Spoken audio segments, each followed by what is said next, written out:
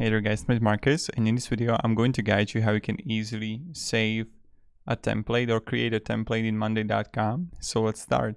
So let's say I'm going to have a customer request here, right?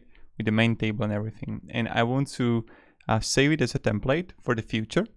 So what I can do is go simply go to the top right when you're going to find those three dots, click on it, and then you're going to have more more actions.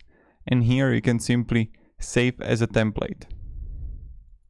Click on it. Everyone in this account will be able to use this template to create a new board. Permissions settings will be changed to write updates only. Okay, create a template. So here, as you can see, it's changed. This board is template visible to all team members. Now, if I go here and I would add, choose from templates, and templates created in your account, you can directly see the template. In one minute straight away, this is how you do it. Pretty simple, pretty easy. Now, if you can have any questions, guys, let me down below in the comments. And I'll be really happy to help you and provide you some guidance. So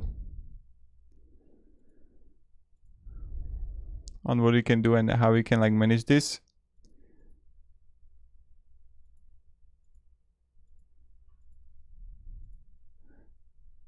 So again,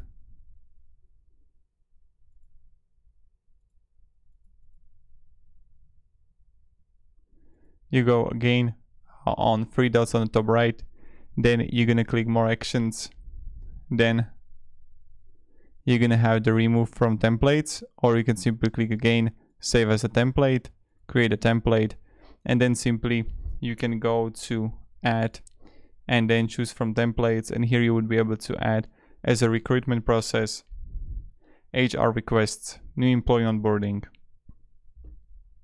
and then templates created in your account, and you're going to find the customer request here.